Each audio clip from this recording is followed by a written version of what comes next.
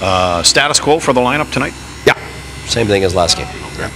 Line combinations and the goalie and all that good stuff? Uh, some of the same, some has changed a little bit, but uh, yeah, no, in defense, uh, pretty much the same. Just with the forwards, changing a few things. With Dzingel, you had put him in sort of different roles, um, and then you said that a few days ago that you're just trying to make sure not too much too soon with him. Yeah, yeah, that's that's, that's what we're doing now. I mean, he's he's a guy we've been bou- him and Pyatt have they've been bouncing from line to line, and it always depended on are we on the road, are we at home, who we're playing, who I want the the matchup to be against, and uh, yeah, we're um, uh, we're coming back with uh, a different one today.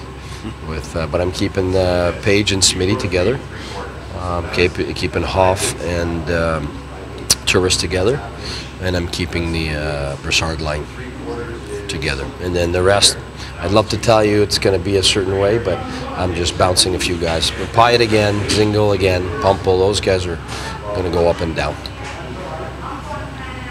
Coach, what are, you, what are you expecting out of this Nashville team?